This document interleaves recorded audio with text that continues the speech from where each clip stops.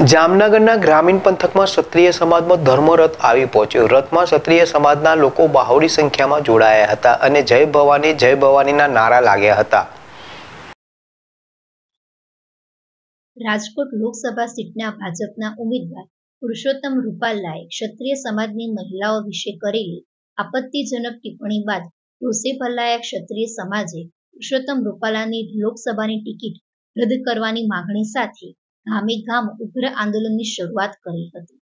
પરંતુ ભાજપે પુરુષોત્તમ રૂપાલાની ટિકિટ રદ કરવાના બદલે એમને જ ઉમેદવાર જાહેર કરતા ગુજરાતના ક્ષત્રિય સમાજે આંદોલન પાર્ટ ટુની જાહેરાત કરી હતી.